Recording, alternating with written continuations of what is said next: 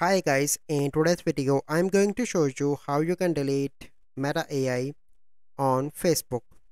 So the first step you need to do is to hold on to your Facebook application and go into the app info.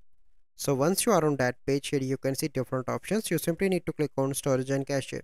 So here you need to clear cache and the storage of the Facebook and after that you need to come back and you need to open the Play Store once you open play store here you need to search for the facebook application. Click on that click on facebook and here you need to uninstall the facebook application. Once you complete that you need to open any browser. So for this video i'm going to open chrome browser and you need to search for facebook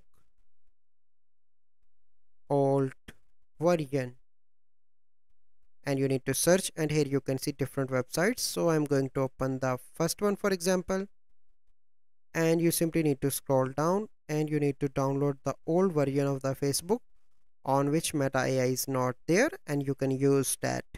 So this is the only method possible. So I hope you find this video helpful. If you find this video helpful must like this video subscribe to our YouTube channel for future videos. We'll see you in the next video.